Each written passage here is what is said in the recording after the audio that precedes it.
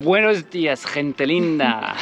Today we're exploring the massive city of Teotihuacan. It is an ancient city which is located just one hour out of Mexico City. It is actually one of the top tourist destinations here in Mexico City. But today we are figuring out how to get there using public transport and how to get a completely free guide of this archaeological park. Later today we'll be heading back to Mexico City to find the most delicious Mexican food we can.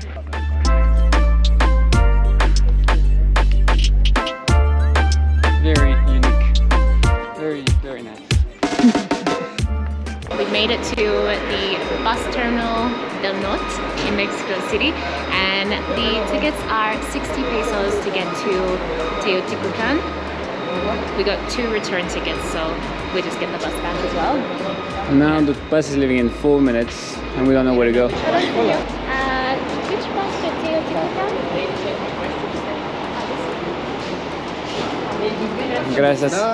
So the reason we're going by ourselves as well, catching the bus there and not taking a tour from Mexico City is the tours kind of start at like $50 per person. I think we can just do it a lot cheaper on our own.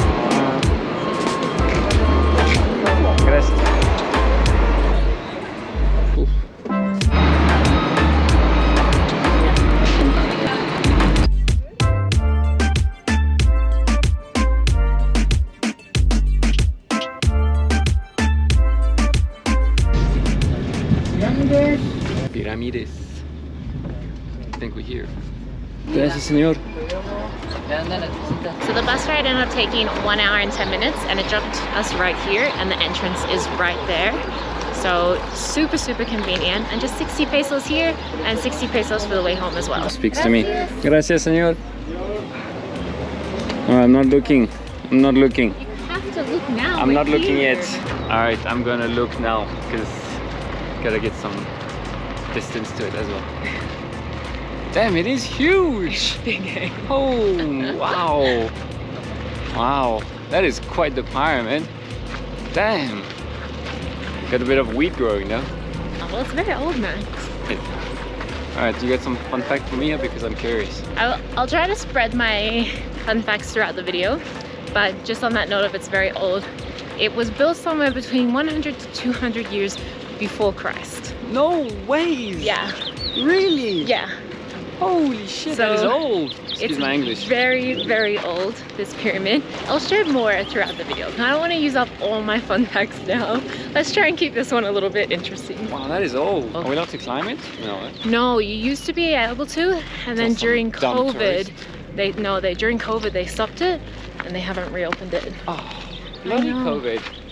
Ruined it for everyone. It looks so tiny in the camera, but I promise you, it is so so massive. We're standing right in front of it, and well, I mean we're not right in front of it. Okay, there, there is like some local vendors selling those um, toy whistles that make like eagle noises or jaguar noises, and it's a bit freaky. Yeah, it's like a, something's gonna come attack us from behind. That's really funny.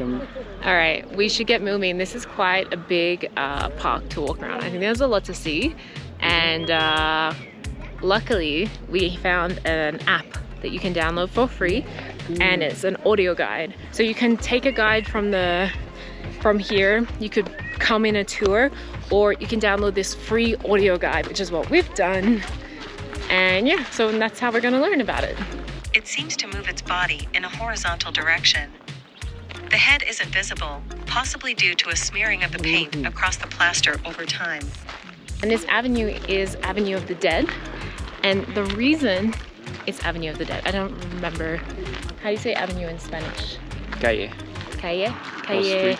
Calle de Muertos. The reason that it's called that though is because there's all these temples alongside it. These were apparently they've learned now that they were all temples, but when the Aztecs actually found Teotihuacan, Teotihuacan, Teotihuacan, they thought that these were all tombs. So that's why they called this Avenue of the Dead. So the Aztec didn't build this? No, the Aztecs didn't build this. So this was built before the time of the Aztecs, and the Aztecs found it in the seventh century-ish. Look at you. I know, I'm not. Kind of Jacqueline. and they named it. So this is Teotihuacan is not the original name. It's what the Aztecs named it. And Teotihuacan means city of the gods, or possibly where men become gods. I found two different answers to that one. I found my calling. Finally, I'm where I belong. La Calzada de los Muertos. I'm probably butchering that pronunciation, but there you go.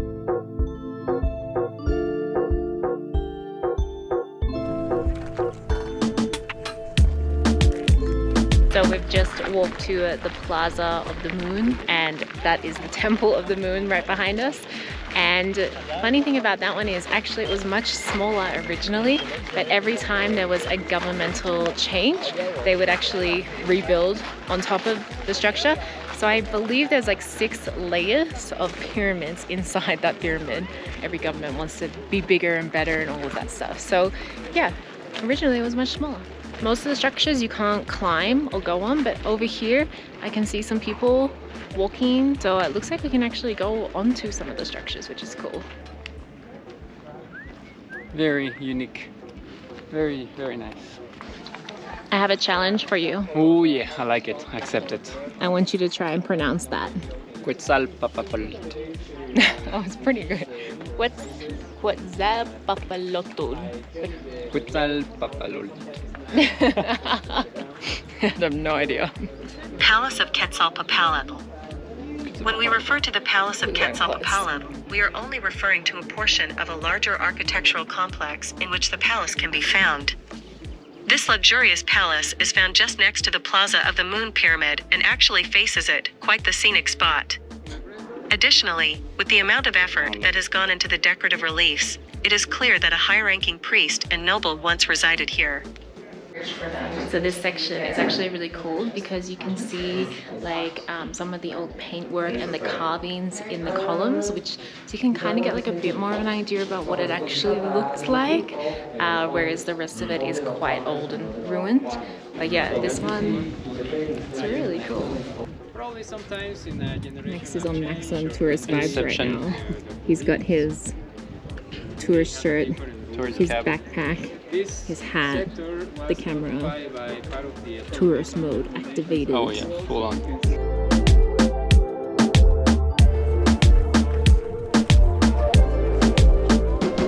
Uh, thanks to our amazing digital guide, we found out that very recently, in 2017 actually, um, thanks to the technology of taking photos under the okay, thank you When you were coming, bro. under the pyramid, they could actually see that there was a tunnel 10 meters below and 33 meters deep.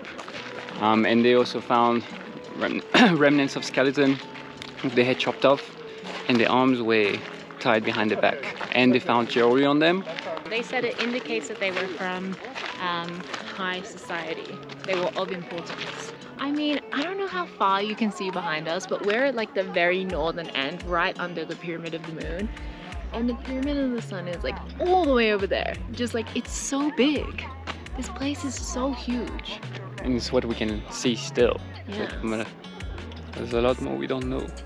Also, we'll put the link below in the description for this app because it's free and it's actually amazing.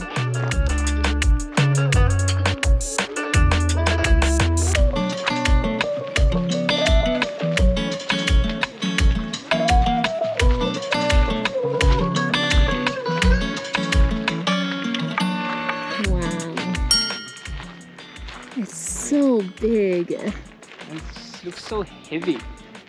It's like a whole mass of rock. Well, fun fact. Ooh, It is one massive rock. It's solid. mm, solid. It's a solid structure. There's no openings or crevices inside. But like, is it like a like a natural mountain under them? No, they built it. Solid. Why don't you just put a mountain and put rocks on it? It's much easier. Because there wasn't a mountain there. Yeah, but it's not like there's a lack of choice around. Yeah, but they built them specifically. They positioned them specifically. Ah, yeah, that's true. Okay. So, interesting thing is, is that this pyramid is either the ninth, the seventh, or the third largest in the world, depending on which website you go on online. I couldn't find exact I don't know which one was correct, but I'm going to give you the stats that I found on Encyclopedia Britannica. Apparently it is 66 meters high. Yeah, I mean, I think it's big, but I feel like the pyramids of Giza.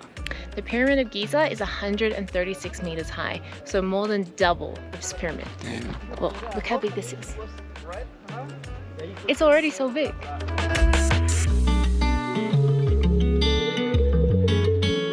Up all the way at the top of this pyramid, there used to be a temple, which is where they made the sacrifices. So you have to guess, because I've already done my research. Why do you think they made the sacrifices? Sorry, there's just a It's just a puma jaguar. attacking us. Yeah. Puma and jaguar. Um, my belief is that since they worship gods of elements, they would basically sacrifice, hoping that they would ask for more rain, more wind, or at least more rain, more sun, and things like this. Yeah. So that's idea. I think there's probably lots of reasons why they sacrifice, but the one that I read that I found really interesting online is that um, because they believed that the gods actually sacrificed themselves to create this world for humans. So they would then in turn have to repay the gods by then sacrificing humans. Yeah. A bit of a loan with interest, basically. You pay your payment back for your Yeah, loan. like pay your dues basically. But yeah, so I just thought that was really interesting because it's kind of like all the other ones we've always read. It's been like, oh, you know, they sacrifice to bring the rains or the food or whatever it is. But yeah, I thought that one was cool. like I sacrificed myself for her by sharing all my food because she eats more than me.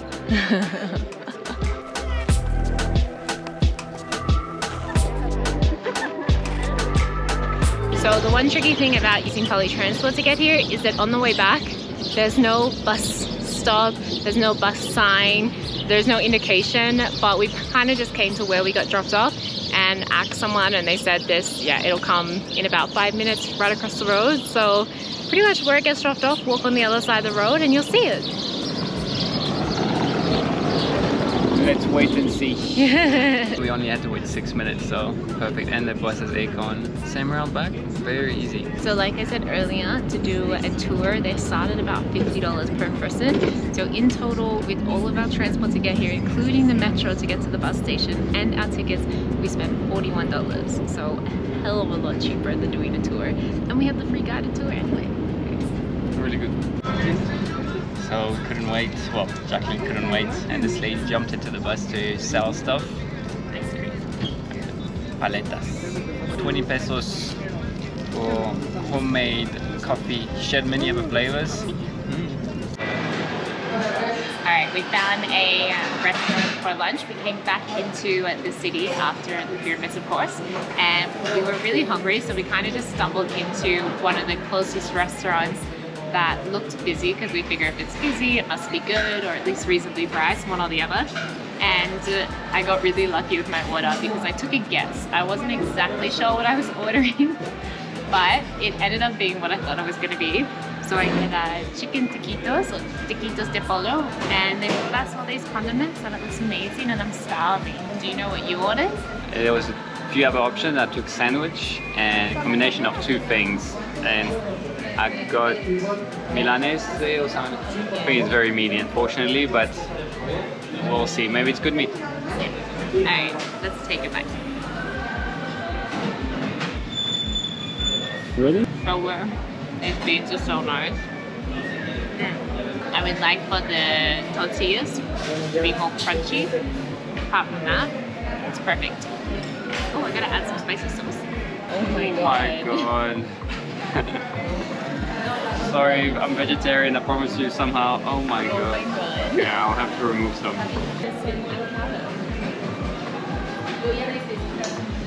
It's pretty good. Yeah. The bread is not as fresh, but it's still very good. There's avocado, not too chili, so I add some more. Some chicken. I don't know what this is. I don't know looks so spicy. Yeah, no, it's actually spicy. That's alright. It's okay. Amazing. We got very lucky. We, we just walked into a place, but then we looked at the reviews after we ordered, and it had pretty good reviews. We are gonna just dive into this though because it's 2 p.m. and we're absolutely starving. So we'll see you after we. Ah, lunch was delicious. It was 150 pesos 150 plus a 20 pesos tip. So, So 170 pesos, and it was really, really good. Um, very but local, very local. yeah. very local. Also, right after we sat down, the whole place filled up completely, and there were no seats left, and there was a line outside. So we definitely chose a good place. We're currently in the historical center of Mexico City, and right in front of us, we're walking towards it right now, is Bella Artes or Palace, no, Palace de Artes De Bellas Artes. something along those lines. We'll put it down here. But uh, it is a beautiful, beautiful building. But I discovered a really wow, cool. I didn't even see its front. We just walked past it. No, but I didn't see from the Yeah. front. So I'm not going to show it to you just yet because I found a really cool spot to go and get an amazing view of it. And it's a cafe that's upstairs. It's in a really weird location though because it's actually inside this department store right here. Okay. I've been looking at the view. We just got our seats at the bar and we got our coffees. I feel like Rain Man and uh, a blind man just walking there. Okay, ready? Three, two, one. Ah, wow. Gosh, this building is, is amazing. Oh, It's my really nice. It's really beautiful. And you can actually go in that building. So it's an art gallery. Um, I think you have to pay to go in there, but I think the the main draw card is the outside of the building, and this view in particular is just like you're directly on it, and you can see Yeah. so much. We're really lucky because Mexico City can be really hazy, which means you can't really see very far. Often you can't see the mountains surrounding it, and today it's a clear day. Oh my Yeah, it's god. very clear. We got so lucky today. It's been a great day. Anyway, we're gonna enjoy our coffees. They're uh, not too overpriced. I think they were 48 pesos each. Mm. So pretty good considering the location. Yeah, you pay for the location. Pay for the view, exactly. Okay, that was a great way to have a rest and a coffee to give us a bit more energy. Oh wow. So we're just walking down like this main street. It's so busy as you can see. There's so many people. But uh, it's in the historical center of Mexico City. So Max just turned to his right and there's just this like crazy building right here. And you can see all the buildings here beautiful.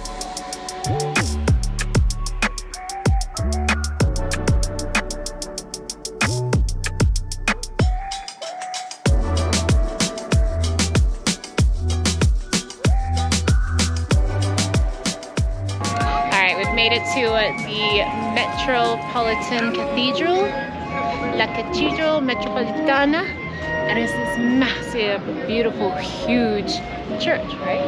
On the Obviously, cathedral. So we're gonna go inside and take a look because it was a very hot walk here, and uh, it looks really beautiful. This church is really big. Really? Yes.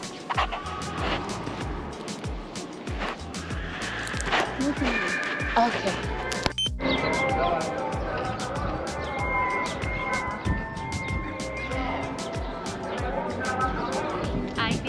This is um, where you can see it's on a massive uh, lean because it's sinking. You want to say how it's sinking? So apparently um, Mexico City is actually sinking. There was heaps of water resources underground, so they've used those resources abundantly uh, because it's fresh water. And unfortunately, that's causing the whole of Mexico City to sink by 50 centimeters every year, which is insane. That is so much.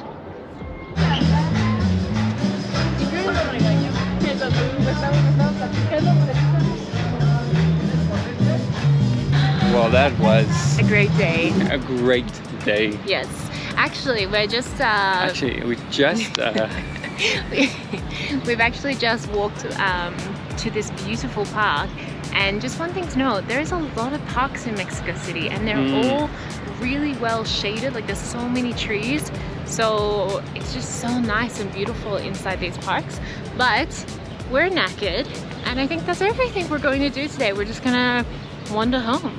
We're gonna wander home in the streets of Mexico City. Yes. It's So- much safer than we thought it was, guys. Just FYI, I was very concerned as a very protective South African ex I think guy. it's like anywhere. People get mugged or pickpocketed or anything in every city all over the world. And if it happens to you, then you feel very unsafe in that city. And so you tell everyone else that it happened to you and word spreads. And it's just one of those things, absolutely 100% it could happen, but I don't feel unsafe. No, well, I mean, we still now, guys. We keep hanging our backpack in our front Well, part. Max does, I don't know. I do. I trust people. Anyway, thank you very much for watching, guys. Yes, we hope you enjoyed this one and hopefully the information on how to get to Teotihuacan was really helpful for you. And if you have not subscribed to our channel, please do subscribe because it helps us grow so, so much. Thanks for watching. Bye! Bye, guys. Buenos dias, gente linda. Please don't bend over, I hear you. And I was like,